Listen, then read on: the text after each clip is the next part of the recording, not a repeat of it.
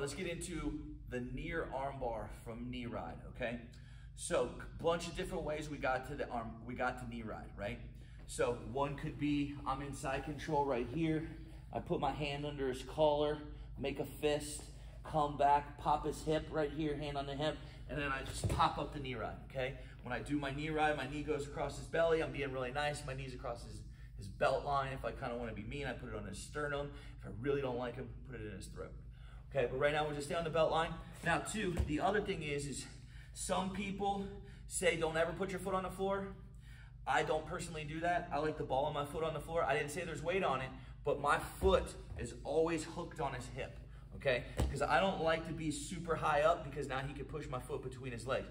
See right there, boom, and now he's got the hook on me. So I prefer to keep my, my kind of the ball of my foot, my touch, uh, touching on the floor, and I use this leg to drive in. If he bumps back into me and I don't like it, hey man, I can just run, okay? So it helps me maintain the position. Other way too to get to uh, knee ride could be just like from a basic bullfighter pass. Bang, right to here. Now, what's really common is when I put my knee on his belly, this hurts, it's uncomfortable, okay? And a lot of times what happens is the hands go right to there.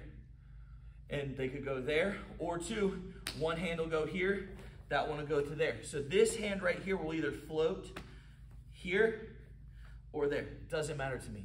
So we'll start from this position. What's gonna happen is I'm just gonna kind of grab the sleeve like this. I'm gonna rip it, okay? Now, in the beginning, uh, coordination is gonna be an issue. So this is how I want you to do it. I'm gonna rip it. I want you to pull them up on the side, and keep that shin right in the armpit. I want you to step over, squat down the fire pole. I keep my shin in his armpit, grab the wrist. I got one leg over, one foot is stuck underneath his back. Right to here, I grab his wrist, I put the elbow on my hip, Knees are pinched and a squeeze, okay? So that's like gross motor skills. So I'm gonna pop up one more time, pop up, pop. He puts his hand right there, I grab the sleeve. I'm literally gonna stand tall, bring my hips forward, slide this shin up to his armpit, step over his face. Boom, right there. Squat, grab, step back. Okay, so that's very beginner. As you get better at this, you won't have to do all that extra standing. Okay, so now I'll be in. Now let's say he puts his hand here, it's fine.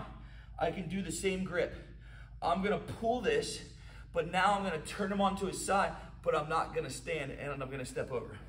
Boom, right to here. And then I stepped over, heel into the neck.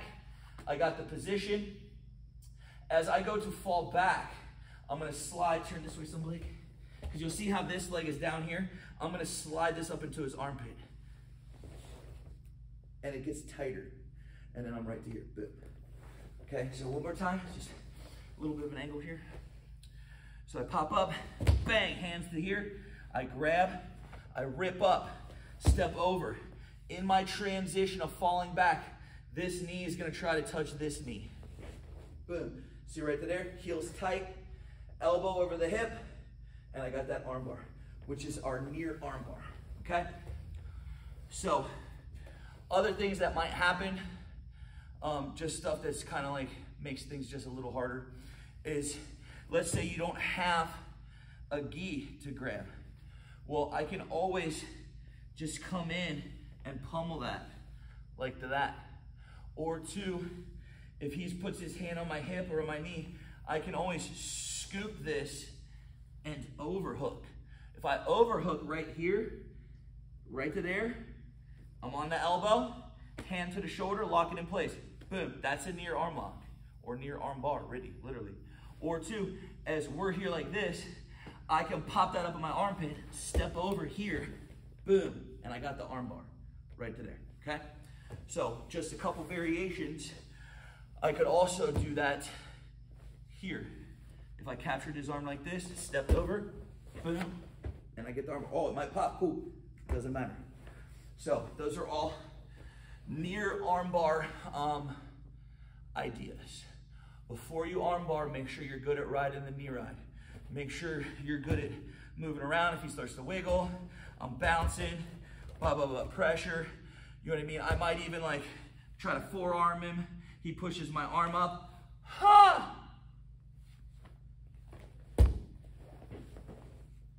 Okay, so there are plenty of ideas out there. What's important right now is just the coordination. Okay.